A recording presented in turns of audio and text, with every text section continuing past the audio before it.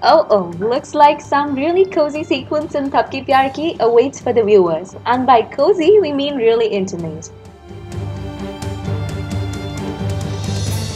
Well, as we know, Vani and Bihaan have finally got engaged and soon will be married unwillingly.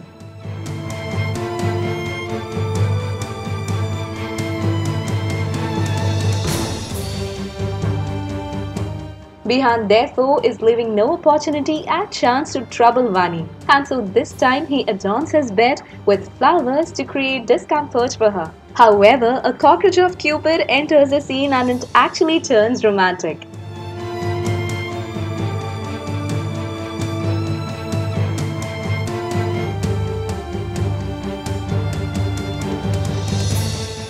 So, what do you feel on this story? Leave your comments below. And for more television updates, subscribe our channel TV Prime Time.